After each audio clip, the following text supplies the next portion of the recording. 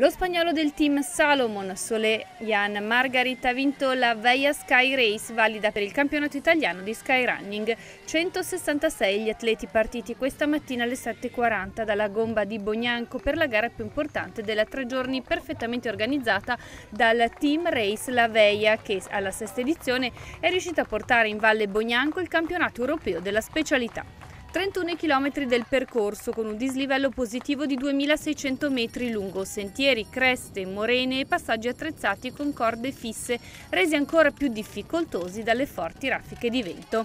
Ian Margarit ha vinto con il tempo di 2 ore 53 minuti e 57 secondi, abbassando di oltre 6 minuti il record della gara. Alle spalle dello spagnolo il marocchino Elosin Elazzauri con un ritardo di 1 minuto e 11 secondi dal vincitore. Sul terzo gradino del podio l'elvetico Roberto De Lorenzi.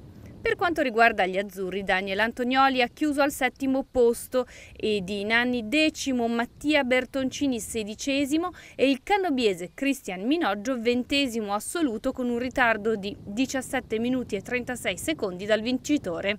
Tra le donne ha vinto ancora una volta Denise Dragomir del team Serim che ha percorso i 31 km della prova in 3 ore 23 minuti e 30 secondi, chiudendo in 35 posizione assoluta assoluta. Alle spalle della Dragomir la svedese Fanny Borgstrom e la spagnola Ainhoa San Rodriguez.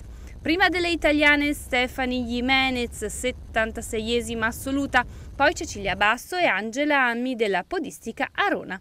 Nella 15 km 128 i partenti e vittoria per Mauro Stoppini del team Sport Project VCO con il tempo di 1 ora 10 minuti e 12 secondi. Sul podio con lui Andrea Prandi e l'atleta della Bognanco Roberto Giacomotti. Tra le donne ha vinto Ilaria Veronese davanti ad Arianna Matli e Cecilia Pedroni.